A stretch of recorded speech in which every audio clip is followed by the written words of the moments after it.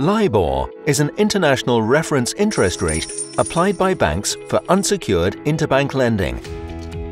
It is used, for example, as a basis for loans, mortgages, deposits, bonds, floating rate notes, swaps and futures. However, it is also applied in portfolio management and trading.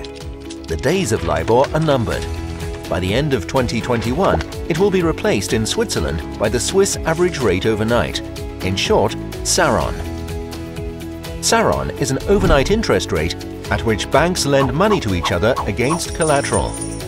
On the contrary, LIBOR is mainly based on estimates of commercial banks rather than actual transactions. Let us take a look at how it is calculated. SARON is an overnight interest rate that applies for the next overnight period. It is based on transactions and quotes posted in the Swiss franc repo market. For instance, to specify the interest rate of a mortgage, the average of the daily compounded SARON rates within three months is determined. This is the compounded SARON. As a result, the amount of interest payable becomes known at the end of the interest period. With SARON, you will benefit from a representative, transparent and robust interest rate, compliant with all international and regulatory requirements.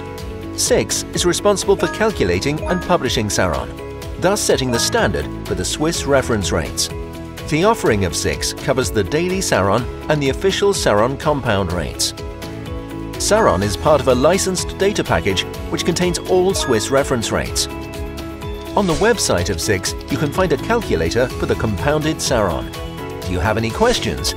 We are happy to help.